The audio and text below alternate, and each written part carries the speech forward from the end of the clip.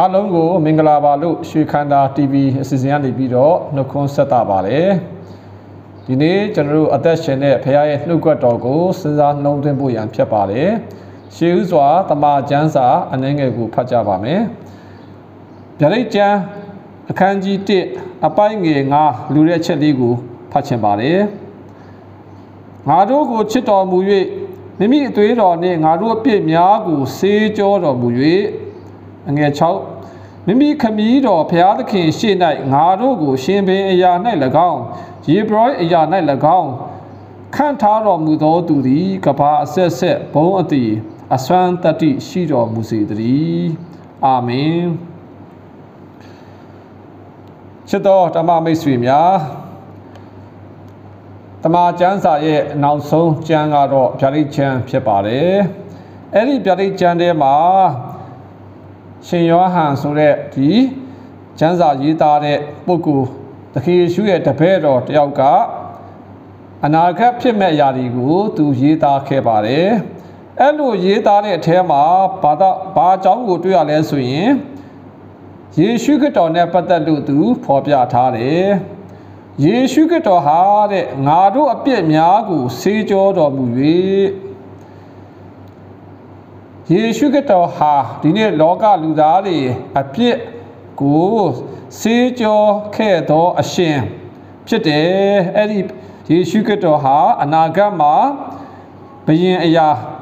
ဘယင်အနေနဲ့လည်းကြွလာဖို့ရှိတယ်ကျွန်တော်ကိုတဲ့ဘယင်အရာရှေဘရောအရာမှာခန့်ထားတယ်တဲ့အဲ့ဒါ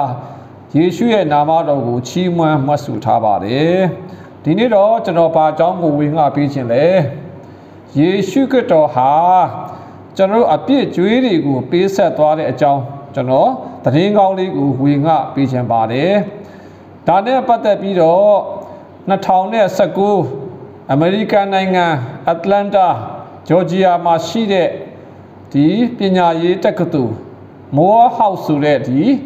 ပညာရေးကျောင်းရဲ့ကျောင်းစင်းပွဲဖြစ်ရလေးအားဖြင့်တာရကပြချင်ပါတယ် အမေရိကန်နိုင်ငံဆိုတာကပညာရေးကိုဦးစားပေးပါတယ်မိမိတက်ချင်တဲ့ပညာရေးစနစ်ကိုပညာဘာသာရပ်ကိုတက်နိုင်ပါတယ်အဲ့လိုတက်နိုင်ဖို့ရန်ကျောင်းသားတွေကချေးငွေအမေရိကန်ဒီဘဏ်မှာချေးငွေယူပြီးတော့ကျောင်းတက်ရပါတယ်ကျောင်းအောင်ပြီးတော့အလုပ်ပြန်ရတဲ့အခါမှာသူတို့ဒီပေးသူတို့ချေးထားတဲ့ငွေတွေကိုပြန်ပြီးတော့ဆက်ရပါတယ် အဲ့တော့အဲ့ဒီ2019မေလမှာပြုလုပ်တဲ့ကျောင်းဆင်းပွဲမှာကျောင်းဆရာတယောက်ပေါ့သူကငွေကြေးချမ်းသာတဲ့ပုဂ္ဂိုလ်တွေဖြစ်ပါတယ်သူ့နာမည်ကတော့ Robert S Smith လို့ခေါ်ပါတယ်သူကအခမ်းအနားနေမှာသူကြီးညာပါတယ်ဘာကြီးညာလဲဆိုတော့2019ဒီကျောင်းသင်ငန်းစာတက်ခဲ့တဲ့လူတွေဟာသူ့ရဲ့ကျောင်းသားတွေဖြစ်တယ်။ ကျောင်းသားတွေရဲ့ပညာရေးဆိုတာအရေးကြီးပါတယ်။ကျွန်တော်ရဲ့လူအတိုင်းဝိုင်းကိုစိတ်ဝင်စားရမယ်။ဒါကြောင့်သူနဲ့မိသားစုဟာကျောင်းသားတွေရဲ့ချင်းငွေပေါ့ပညာရေးထောက်ပံ့အတွက်ချင်းငွေတွေကိုသူဒါရင်းနှီးမြုပ်နှံမယ်ဆိုပြီးတော့သူဂတိပြုတယ်။ကျောင်းသားအယောက်300ကျော်ခမန်းကြီးဒေါ်လာတန်း40ဖြစ်ပါတယ် အဲ့ဒီအတွက်ကိုသူနဲ့သူ့မိသားစုတွေဟာပါဝင်မယ်လို့ပြောတဲ့အခါမှာလူတွေကအာလက်ခုပ်တွေတီးပြီးတော့အရန်ပဲဟိုဝမ်းမြောက်ကြိုဆိုကြပါတယ်။ကျောင်းကြီး president လဲသူလဲအရန်ပဲဝမ်းမြောက်စွာနဲ့ဒီမှတ်တမ်းတင်ဗီဒီယိုလေးကိုကျွန်တော် YouTube channel မှာကျွန်တော်လဲကြည့်လိုက်ရပါတယ်။ချစ်တော်မိတ်ဆွေဒီနေ့ကျွန်တော်တို့လောကမှာလူတိုင်းလူတိုင်းဟော အကျွေးတွေရှိနိုင်ပါတယ်အမေရိကန်နိုင်ငံမှာဆိုရင်တော့မော်တော်ကားဝယ်ရင်လည်းအကျွေးပါပဲအိမ်ဝယ်ရင်လည်းအကျွေးနဲ့ပါပဲဖုန်းဝယ်ပဲဆိုလဲအဲအရေးကြဝယ်လို့ရပါတယ်ပညာသင်စိတ်ဆိုလဲဒါလည်းကျွန်တော်တို့အဲအစိုးရရှိမှခြေထားပြီးတော့နောက်ပြန်ဆက်ရပါတယ်ဆိုတော့ဒီအရာတွေအတွက်ကိုပညာသင်စိတ်အတွက်ကိုအဲ့ဒီ အဲ Robert Smith ကနေပြီးတော့ပေးလိုက်တဲ့အတွက်ကြောင့်အားလုံးကဝမ်းမြောက်စွာနဲ့သူတို့ပျော်ရွှင်ကြတယ်။ចောင်းသားတယောက်ဆိုရင်တော့သူကဒေါ်လာ3သိန်းလောက်သူ့မှာကျွေးတင်သွားပါတယ်သူလည်းအယံပျော်ပါဖြစ်ပါတယ်ဒီနေ့အဲ့ဒါကတော့ကျွန်တော်တို့အဲ့ဒီចောင်းသားအာ2019မိုးအားခောက်ဆိုတဲ့ကျောင်းမှာရှိတဲ့ဒီကျောင်းသားအယောက်300ကျော်400လောက်အတွက်ပဲဖြစ်ပါတယ်လူတိုင်းအတွက်တော့မဟုတ်ပါဘူး ဒီနေ့ကျွန်တော်တို့အားလုံးအတွက်တည်င်းကောင်းရှိပါတယ်အဲ့ဒါကတော့ဘာလဲဆိုရင်ယေရှုခရစ်တော်ဟာကျွန်တော်ရဲ့အပြစ်ကြွေးတွေကိုပေးဆက်သွားတယ်လို့ကျွန်တော်ကျမ်းစာမှာဖော်ပြထားပါတယ်ဒီနေ့ကျွန်တော်တို့ကတော့ပြောကြပါတယ်မြန်မာပြည်မှာတော့အများစုတာမန်ကျွန်တော်လက်လွတ်လွတ်စားသည်ကတော့အကျွေးတော့မရှိပါဘူးလို့လည်းချို့ပြောကောင်းပြောမယ်တချို့ကလည်းရှိတော့ရှိတာပေါ့ လူတိုင်းလူတိုင်းမှာတော့ကျွန်တော်တို့ရှိတဲ့အကျွေးကတော့ဘာအကျွေးလဲဆိုရင်အပြစ်ကျွေးဖြစ်ပါတယ်ကျွန်တော်ဖရာသခင်ရှေ့မှာကျွန်တော်မတန့်ရှင်းဘူးအပြစ်ဆိုတဲ့အခဆိုတာကျွန်တော်ရှိတယ်ကျွန်တော်အစတုန်းကအပြစ်နဲ့ပတ်သက်လို့သိပြီးတော့သဘောမပေါက်ဘူးအပြစ်နဲ့ပတ်သက်လို့ကြည့်တဲ့အခါမှာကျွန်တော်အာဒံအေဝါကနေပြီးတော့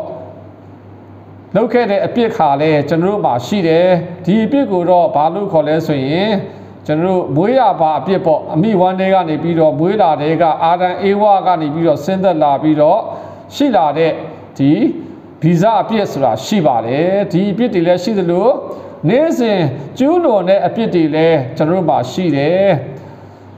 နေ့စဉ်မှာလည်းကျွန်တော်တို့ပြောဆိုစဉ်းစားခြင်းကာယကံမြောက်ကျူးလွန်ခြင်း မနောကံနော်စသည်ဖြင့်ကျွန်တော်ကာယကံဝစီကံမနောကံဆိုတော့စိတ်နဲ့ပြက်မာခြင်းကိုယ်တီးလျောက်ပြက်မာခြင်းနှုတ်နဲ့ပြက်မာခြင်းစတဲ့အပြစ်တွေကိုကျွန်တော်တို့ပေးဆက်ဖို့ဖြစ်တယ်။ဘာဖြစ်လဲဆိုတော့ဖရာသခင်ဆိုတာအပြစ်ကိုစီနေတဲ့ဖရာအပြစ်ကိုယုံမုန်းတဲ့ဖရာဖြစ်တယ်။ကျွန်တော်တို့ထင်တာကတော့လူတယောက်ကိုကျွန်တော်တို့တတ်မှပဲအပြစ်ရှိတယ်လို့ထင်ပါတယ်။ဒါပေမဲ့ တမန်ကျမ်းစာကဘာပြောလဲဆိုရင်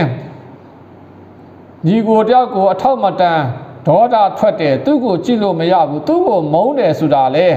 အပြည့်လို့သတ်မှတ်ထားပါတယ်သူတပါတာမယားကို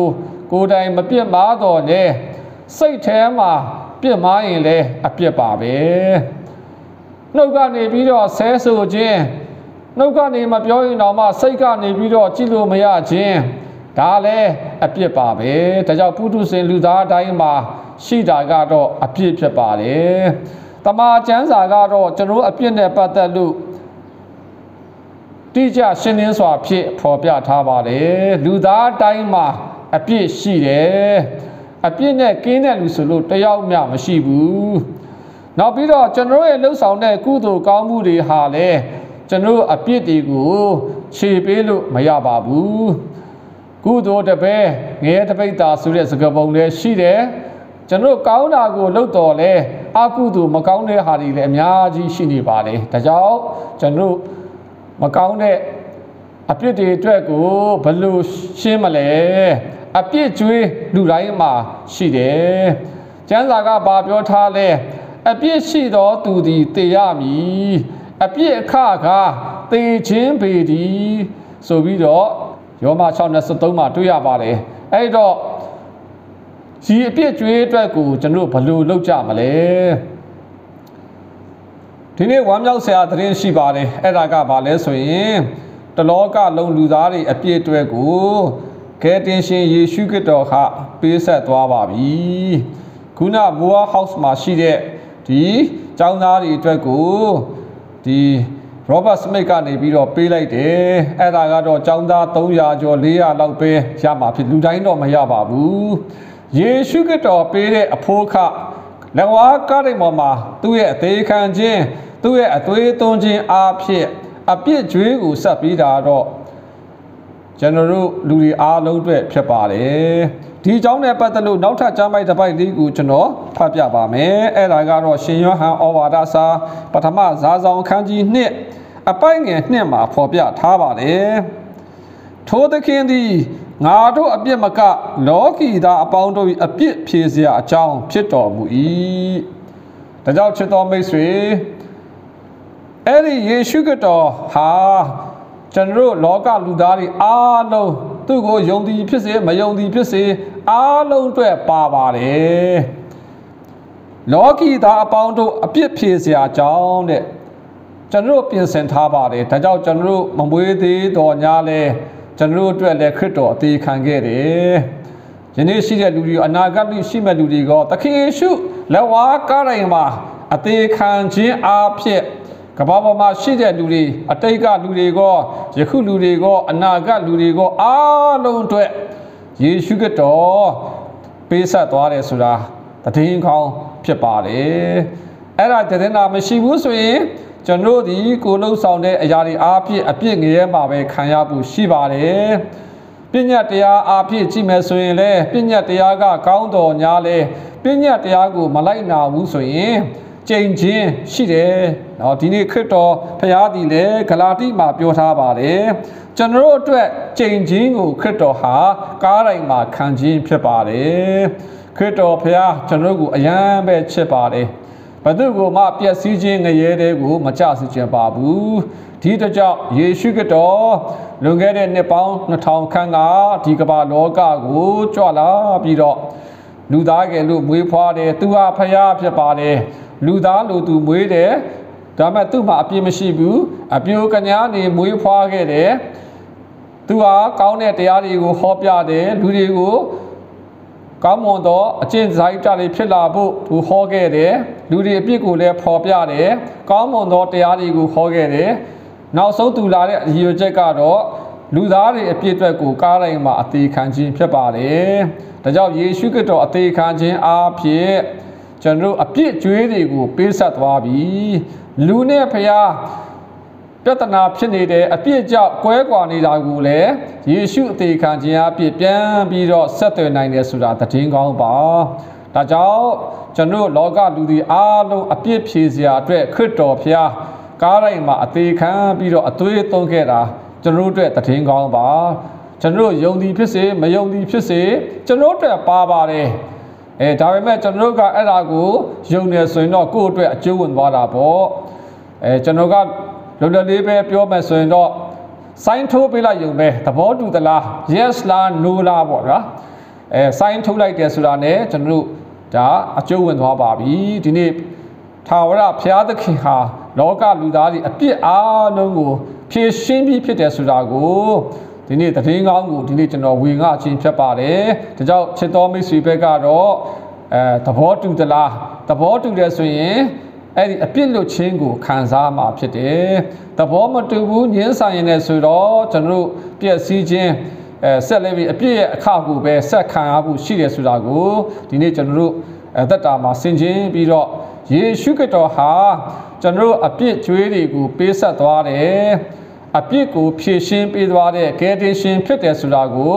လုံသားထဲမှာလက်ခံယုံကြည်ကြဖို့ရန်ဒီနေ့ကျွန်တော်မေတ္တာနဲ့တိုက်တွန်းခြင်းဖြစ်ပါတယ်ကြားရသူအယောက်စီတိုင်းပေါ်မှာသာဝရဘုရားရဲ့ကောင်းမြတ်ခြင်းတက်ရောက်ပါစေသော